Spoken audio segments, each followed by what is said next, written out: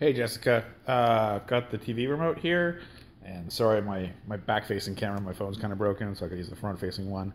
Uh, you said that only a couple things work, but I don't understand, uh, so I'm gonna just try to use it for you here. We're gonna turn this dial, and the, you'll see TV and TV2 there. Um, I'm gonna pick TV2, and then I'm gonna press this this check mark button here. Okay. Oh. And then uh, now it's going to give me a bunch of options, and I'm just going to kind of ignore that.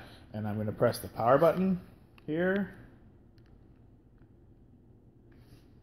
The TV is going to turn on, albeit rather slowly, but I saw the blue light there. Okay, yeah.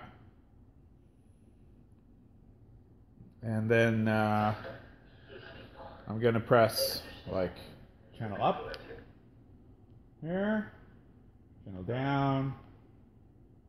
Yeah. Okay. Uh, maybe sound up, down. Uh, I don't know. Input, does that work? Yeah.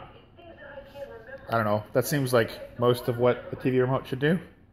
Um, I don't know. Give me a shout if that doesn't make sense, or maybe there's more to it. Okay, bye.